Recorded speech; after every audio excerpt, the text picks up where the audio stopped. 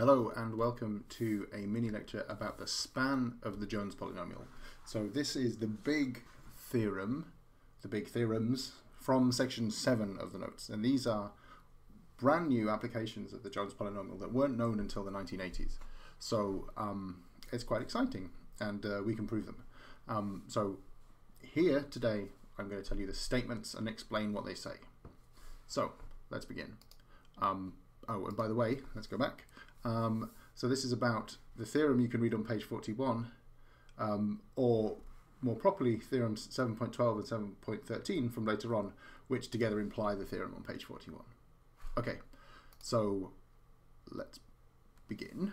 Um, here is some definitions. So we're going to let f be a Laurent polynomial in some variable x.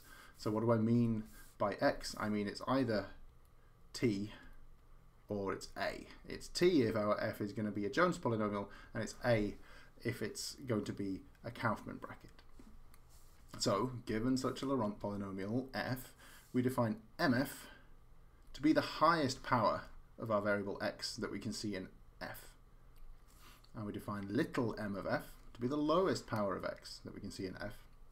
And we define span of f to be their difference. In other words, you look for the highest and lowest powers, subtract the little one from the big one. That's the span. And what we're going to do is we're going to study this, the span, for the Jones polynomial. So let's look at some examples. Here we have a knot k, it's the trefoil. Now, uh, we remember because we've worked out that its Jones polynomial is minus t to the 4 plus t cubed plus t.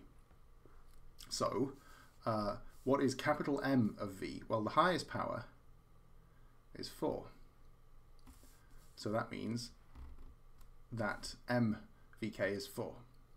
Capital MVK is 4. And what's the smallest power? Well, there it is. It's 1, right?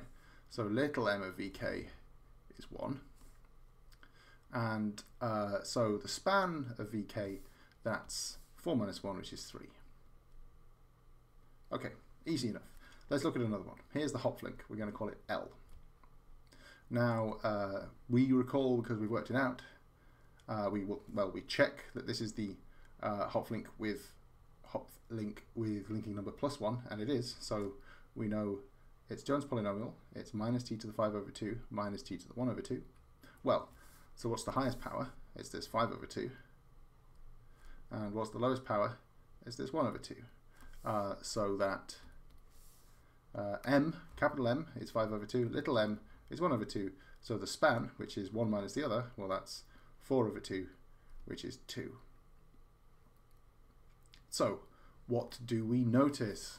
Uh, we notice, tarantara, fanfare, that 3 here and 2 here, these are the numbers of crossings in the diagrams. Okay, how wonderful. So let's see if that keeps happening. Let's look at some more examples. So for this t here, which is just, uh, what is it? It's the trivial link of two components drawn with uh, two crossings. Well, then I suggest you look up the Jones polynomial of this thing, um, and you can see that its span is 1.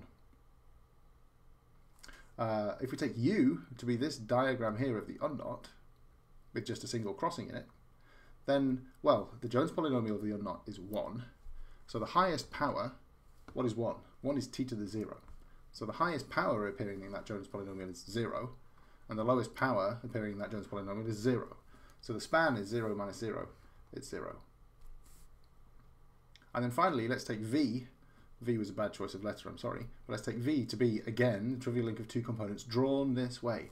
Well, in that case, the span is 1, uh, because it's exactly the same polynomial as the one in the first example there. So, what do we notice here?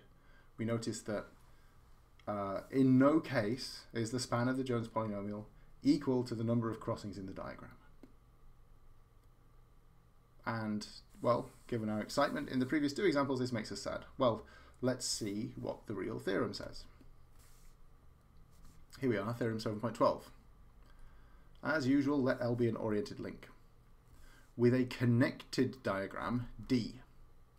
And we're going to assume that D has n crossings. Then the span of the Jones polynomial of L is less than or equal to n. With equality, in other words, this less than or equals to is an equals if D is reduced and alternating. So look carefully. To state the theorem at all, we need the diagram to be connected. And then to draw the strongest conclusion, the equality for the span, we need it to be reduced and alternating. Okay, so let's go and see uh, how the theorem compares to what we observed before. Um, so over here on the right, I've started off a table of the links we had before. And there's some columns there. There's a column for a tick or a cross if the knot is if the if the diagram is reduced. Uh, there's a column for a tick or a cross if it's alternating or not, if it's connected or not. And here I've also I've already put in for you the spans of the Jones polynomials and the numbers of crossings. So I suggest you pause, fill in the ticks and crosses in these three columns if you can, and uh, and decide how that compares with the theorem.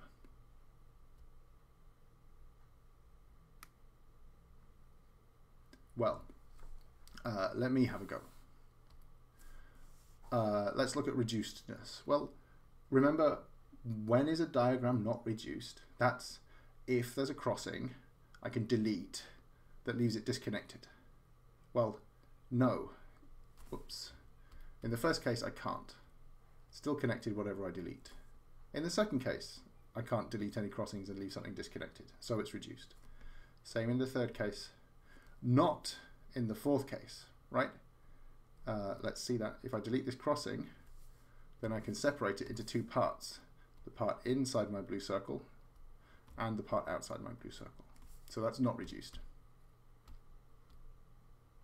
There we go. And, well, the last one's not even connected to begin with. So let's just leave a blank there.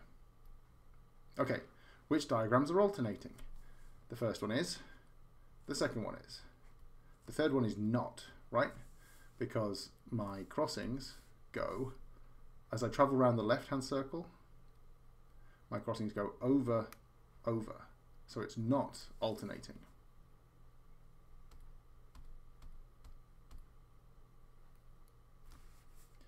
And uh, the next Yes, that's alternating because it goes over under.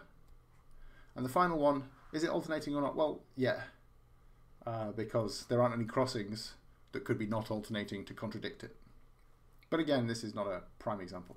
Okay, uh, final column, are they connected? Yes, yes, yes, yes, no. Because again, I can separate my diagram using a circle. There's the part inside and the part outside. It's not connected. Okay. So now, what do those results tell us? Well, let's look at the theorem. Let L be an oriented link with a connected diagram, D, with n crossings. Okay, so in all these cases, the first four, where my diagram is connected, then I can draw a conclusion. It's that the span is less than or equal to the number of crossings.